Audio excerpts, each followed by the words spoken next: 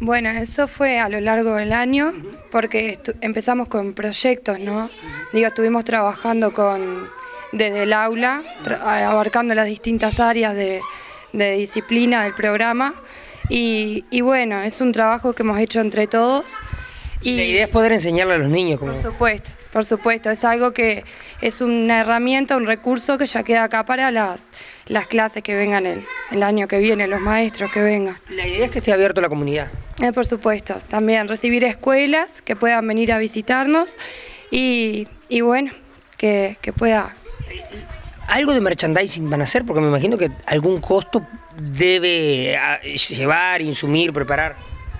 Eh, no, en eso te voy a decir, por ejemplo, eh, en el año 2017 vino una inspectora de bibliotecas y museos de Montevideo.